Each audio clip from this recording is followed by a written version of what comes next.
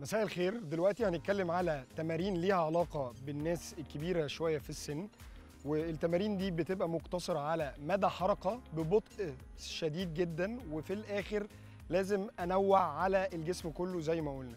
فهنبتدي بالتمارين البسيطة إن أنا أعمل لف لجذعي وأحاول أوصل لأقصى مدى 30 ثانية. التمرين اللي بعده ليه علاقة برضو بحركة الجذع بس للجناب وأطول.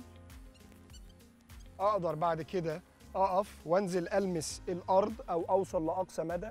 لو لغاية هنا ده مناسب أو مؤلم بالنسبة لي هقف وأطلع وأحاول دايما وأنا بطلع يبقى ظهري مفرود ما يبقاش فيه أي انحناءات. وأنزل لغاية أقصى مدى أقدر أروح له وأنا فارد ركبي. وممكن أرجع أعمل التمارين البسيطة بتاعت إن أنا أحرك رجليا لغاية فوق. أقدر أعمل التمرين ده بشكل فيه سنة حركة. وبرضو بشكل بسيط جدا أقدر أحرك العضلة السفلية إن أنا برضو أعمل الكات كاو.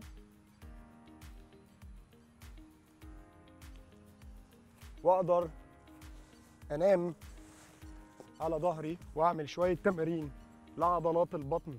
بسيطة جدا. رجل واحدة. 30 ثانية والرجل الثانية 30 ثانية. وممكن برجليا الاتنين أعمل ثبات وأرفع الحوض من على الأرض علشان العضلات تبقى منقبضة في حالة انقباض. وأقدر أرفع رقبتي لو قادر. لو مش قادر كفاية كده. أو هنا أو هنا على حسب المدى بتاعي. كل ما أشيل أنا مش عايز أشيل الرقبة بس من على الأرض أنا عايز آخد حتة من ظهري وكتافي معايا علشان البطن العلوية تشتغل معايا. ثبات 30 ثانية وأريح. واطلع تاني ثبات 30 ثانية وأريح. والتمرين الاكثر شهرة هو تمرين العجلة. وبيبقى فيه سنة حركة وسنة ضخ لعضلة القلب. علشان بتحرك بشكل فيه سنه سرعه وأقدر في الآخر أعمل تمرين للسكوات ومش لازم أنزل لتحت خالص ولكن أقدر أعمل على قد المدى بتاعي وأشتغل على عضلة السمانة في الآخر إن أنا أطلع أقف لغاية فوق.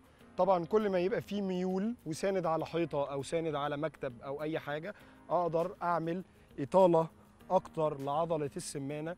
وده بيجي بالتدريج وبالتدريب.